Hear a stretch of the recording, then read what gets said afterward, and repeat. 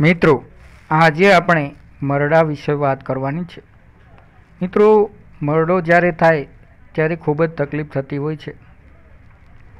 મરડાની અંદર, ઝાડાની અંદર પરવું આવે છે, ક્યારેક લોહી પણ આવે છે અને એ ઝાડામાં ફીણ પણ દેખાય છે. મરડો થાય ત્યારે પેટમાં વીંટો આવે છે, પેટમાં દુખે છે. પેટ જે છે, તે ભારે ભારે લાગે છે. વારે વારે લેટ્રિન જવું પડે છે. ક્યારેક તાવ પણ આવી જાય છે. આ મરડો જ્યારે થાય, ત્યારે ઘણી બધી તકલીફો થતી હોય છે. મિત્રો, આ મરડાના જે કીટાણુ જે છે, તે આપણા મોઢા દ્વારા, જે આપણા આંતરડા જે છે, ત્યાં પહોંચી અને ત્યાં જમા થાય છે, ત્યારે આ મરડો જે છે, તે થતો હોય છે. ખાસ કરીને જ્યારે વર્ષા ઋતુ હોય અને ઉનાળો હોય, ત્યારે આ મરડો જે છે તે થવાની જે સંભાવના જે છે, તે વધી જતી હોય છે. આ સિવાય જે આપણો મળ જે છે, તેમાં ચિકાસ વધી જાય છે.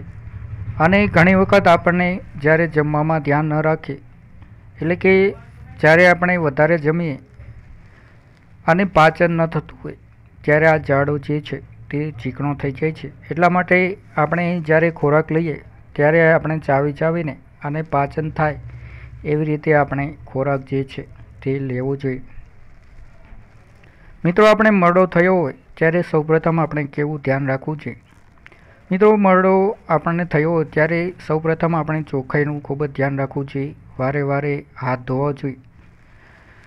મિત્રો, આપણે મરડો થાય ત્યારે ખાસ કરીને પાણી જે છે, આ પાણી પીવામાં ખૂબ જ ધ્યાન રાખવું જોઈએ પાણી જે છે તે ઉકાળે અને ત્યાર પછી આ પાણી જે ઠરી જાય.